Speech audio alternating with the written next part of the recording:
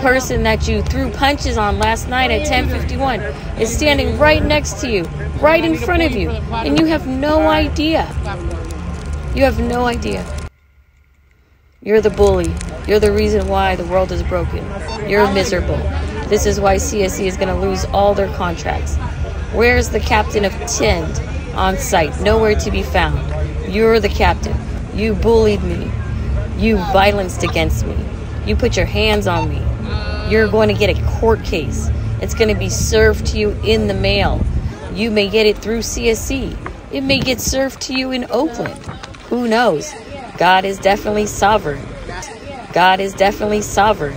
He woke you up today and said, You're on native land. And by the way, Jen, go ahead and enjoy Lil Nas X because you were bullied during your shift on day two by Tonya in CSC. And all the CSC supervisors just sat there and watched